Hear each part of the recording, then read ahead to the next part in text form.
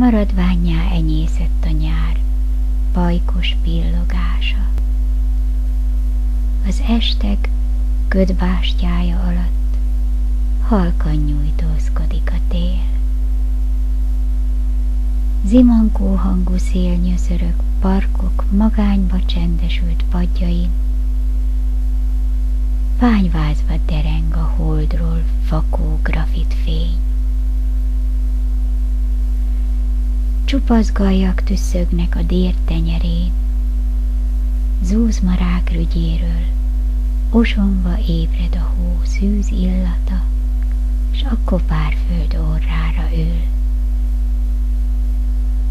Fehér íriszt ölt a remény, kecsesen adja tiszta gyolcsát a lépnek.